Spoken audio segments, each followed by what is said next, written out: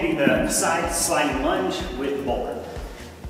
Other than putting these two things together, nothing's different as far as how you do a bowler or how you're to do a side slider. So we're going to make sure that you get a good backward hip hinge. That's a big key. You need to get your hips back behind the ankle instead of driving through the knee. We're trying to get down hip to about knee height. Come back up, and then with the bowler, the big key is make sure we're moving through this hip and not a whole bunch of spinal movement and not a whole lot of up and down through the knee. Sliding the leg across. The shoulder is going to drop down, so just think about allowing the weight to follow your leg. What most people do is they tend to twist up here, shifting their center of gravity of their foot. I want to get that center of gravity outside, force your hip to do a little more work. So sliding lunge, and then going through.